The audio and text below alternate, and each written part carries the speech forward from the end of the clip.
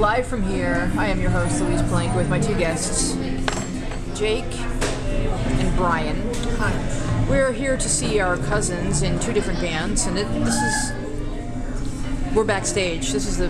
We're backstage. We totally got passes. We're laminated, and we're gonna play. Um, I think Mick Jagger's going to be coming in any moment now. yeah, yeah. All right. Do you?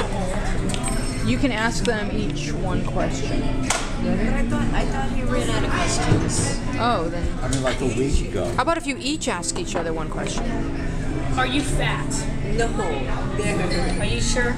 Yes, I'm sure. That's two questions. It was a follow up. It counts as one. I thought there were no follow-ups. I thought those counted as questions. Okay, you got a question, Jake. Can you think of a question for me to ask you? Yeah. What is it? That's your follow-up? your. Is that your follow? Am I fat? Okay, so tell me. Am I fat? Ask the camera if you're fat. Am I fat? Uh uh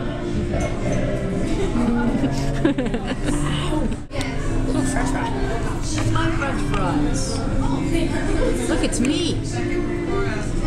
Look, I'm on my own show. Look.